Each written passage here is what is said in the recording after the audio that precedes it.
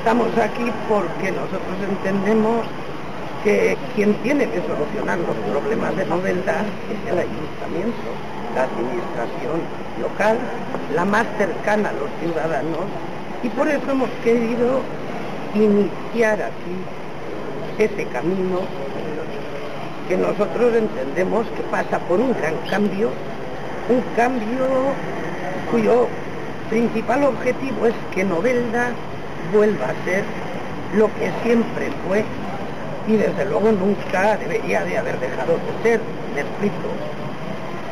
Nuestro proyecto de futuro es el trabajo, es el empleo y desde luego para ello hace falta una administración eficaz, una administración que no se obsesione con dejar contentos a todos los que hay que dejar contentos, que es lo que Novelda ha visto en estos cuatro años, un equipo de gobierno, un cuatripartito que se ha preocupado más de contentar a todos los que lo componían que realmente de preocuparse por el interés general de nuestra ciudad. Nosotros tenemos gente preparada, gente que está dispuesta y además ya ha demostrado que se pueden hacer muchas cosas por Novelda y desde luego nuestro objetivo va a ser fundamentalmente el empleo, el trabajo y sanear las cuentas municipales. Creo que el fracaso del equipo de gobierno que hay está más que demostrado. Tenemos una deuda que son dos presupuestos municipales y nosotros entendemos que los ciudadanos no son culpables en absoluto de la mala gestión del equipo de de lo que han hecho los gobernantes, no tiene culpa la gente que votó, pero sí decirles que el Partido Popular los necesita, necesitamos tener un equipo fuerte para que no se vuelva a repetir pues este baile de gente que cada uno quiere hacer lo que le interesa a cada partido. Nosotros haremos lo que realmente necesita Novelda. También respecto a las últimas noticias que han aparecido, yo quiero matizar, decir, anunciar mi absoluto respeto a la justicia. Absoluto, total. Pero sí deciros que no es nada extraño para mí. Yo sabía que este no iba a ser un camino fácil, porque llevan dos años, ustedes saben, investigando el famoso caso Gürtel, y qué casualidad que hasta que yo no he anunciado que me presentaba las elecciones, el nombre de Milagrosa no ha salido. Ya digo, desde mi más absoluto respeto, yo sé que el camino no va a ser fácil, pero tiene que tener claro la gente que a mí nadie me va a chantar en absoluto y que a mí estas cosas me dan fuerza porque con la cabeza bien alta siempre se ha gestionado novela, en la consellería, en las cortes y los papeles están ahí y la gestión también. Y yo encantada pues de colaborar con todos. Dicho esto, estamos abiertos a cualquier pregunta de los medios de de, comunicación para contestar. ¿Tienes preguntas? Yo sí tengo una. Eh, primero, ¿cuándo decide Milagrosa volver a la política local y por qué lo decide? Bueno, yo sé y aprovecho esta pregunta eh, que te agradezco. Vamos a ver, la política local para mí nunca se ha olvidado. Digo que no se ha olvidado porque el que está en política lo vive, yo siempre he dicho que la política es una especie de droga que te llega, te, emociona y además te apasiona. A yo la política local nunca la he dejado por un motivo, porque yo creo que la política que hace y que realmente es lo que yo llamo el cuerpo a cuerpo es la política local. Luego he tenido la suerte de estar formando parte del gobierno del presidente Cantz, primera consejera de turismo, luego como presidenta de las Cortes. La primera vez lo decidí porque siempre he pensado que la política para mí es un a los ciudadanos y yo como noventera pues es una gran satisfacción, por ejemplo, ver un centro salud que no estaba, un centro de salud que se hizo cuando yo estaba de alcaldesa, ver un palacio de justicia, proyectar un instituto, un colegio por igual, una ronda sur, una ampliación de María Cristina. Esa es la mayor satisfacción. ¿Por qué? Porque la política local quien vota son los ciudadanos. No dependes de una designación que es una firma. Entonces lo decidí por eso y ahora lo he decidido y además lo voy a contar porque mucha gente me pregunta porque el presidente de la Generalitat me pidió, eh, me pidió no, me dijo si yo estaría dispuesta a presentarme por sueldo. Y yo le dije que estaba encantada porque como vosotros sabéis, yo nunca he abandonado Novelda, además yo he tenido contacto con las diversas asociaciones y si alguna recibido a mí y he podido echarle, como se dice cariñosamente, cable, me la he echado y le dije que estaba encantada. Después, esas malas intenciones, pues que se habla de que el volver a una ciudad, por ejemplo, a lo mejor supone el bajar escalón. Yo creo que eso es una ofensa para Novelda, porque Novelda es mucha Novelda, lo fue y lo volverá a ser. Para mí es un honor presentarme como alcaldar de Novelda, porque quiero mi ciudad y a mí me duele mucho de verdad ver las situaciones que hay, algunas muy dramáticas de familias que te ven por la calle y que te dicen qué van a hacer porque cada día, cada semana hay herramientas que están Yo creo que todos los esfuerzos de cualquier partido eh, tienen que pasar por unirnos, por esforzarnos y hay medidas, las medidas de fomento de empleo. ¿Quién se explica que 90 no tenga sueldo Es que, es que, vamos, yo creo que eso no se lo cree nadie. Vamos a dejarnos ya de nombrar proyectos de la era terciaria. Hay un proyecto, vamos a unirnos, vamos a trabajar y vamos a sacarnos adelante y potenciar a las empresas, porque quien da empleo son los empresarios y hay muchas medidas para fomentar a la pequeña empresa, a la gran empresa, a los comercios, a esas empresas pequeñas familiares que hay de dos y tres empleados, que esos son los que generan la receta.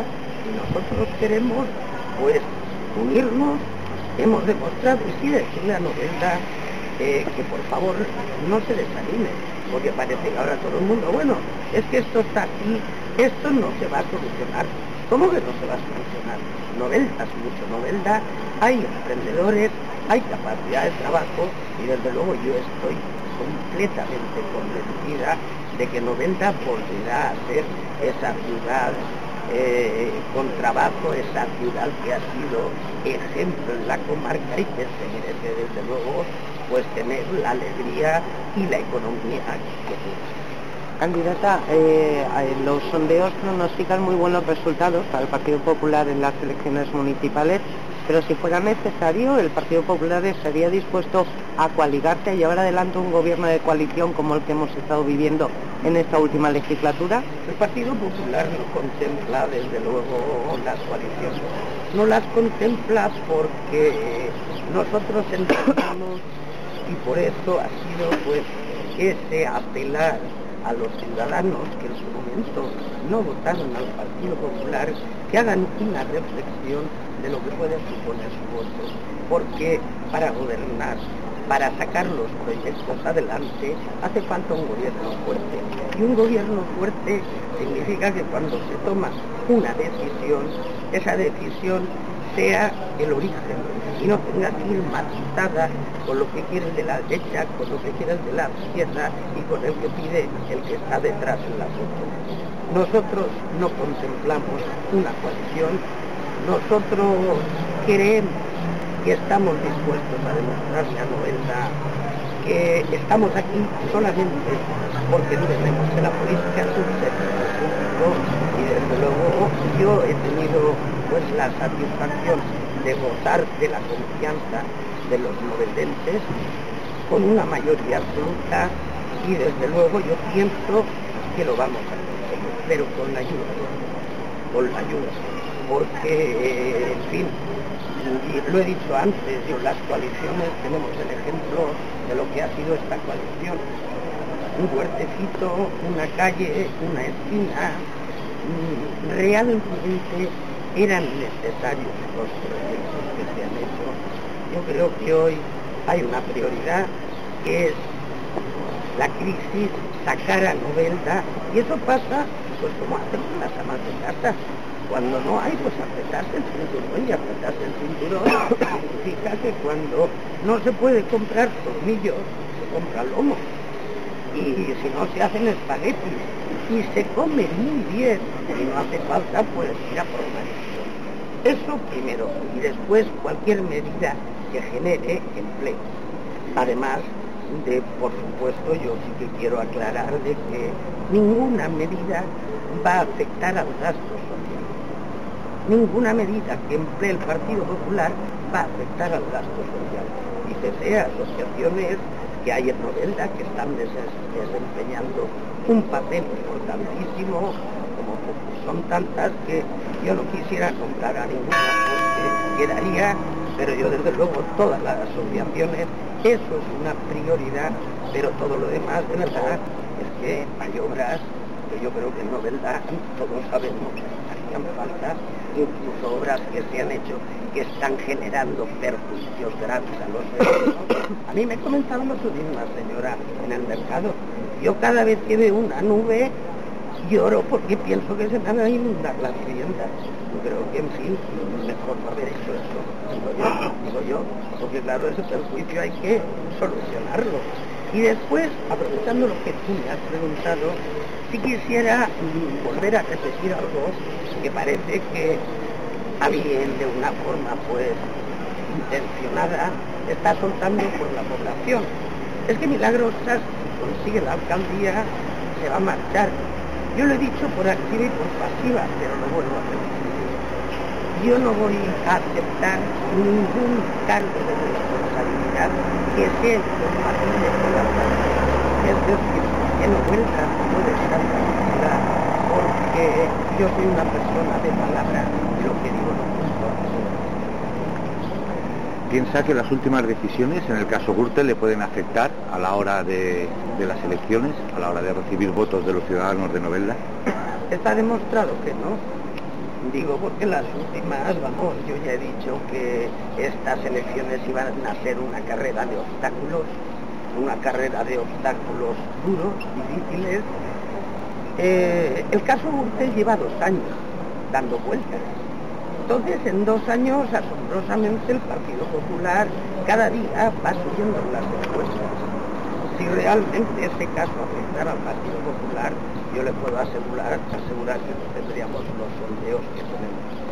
Eh, además, yo confío en los ciudadanos de Novelda. Aquí la política local tiene una ventaja y una desventaja. La ventaja es que nos conocemos todos cada uno sabe quién es quién y la desventaja es que se puede ocultar muy poco. Aquí todo el mundo sabe quién es la cosa, cómo llevó ella, qué gestión se ha hecho y sobre todo la gestión que ha hecho cuando he estado yo y cuando no ha estado el Partido Popular, pero quiero recordar que las pasadas elecciones fue el partido más votado. Por ello yo apelo a los ciudadanos, porque a veces no basta con ganar ser el más votado. Para llevar todos los proyectos adelante hace falta tener mayoría, mayoría suficiente y ¿Irá en otras listas, aparte de las municipales? Iré en las listas autonómicas.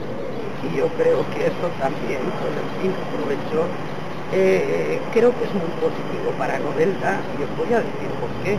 Porque claro, yo sin precio de conocer un poco la política autonómica el ir en las listas de las Cortes significa que todos los consejeros, eh, incluido el presidente de la Generalitat, están contigo, te ves todas las semanas y eso a la hora de pedir y a la hora de conseguir, de verdad, no es lo mismo pedirle a un amigo que está todos los días con él que ir a pedir a un desconocido.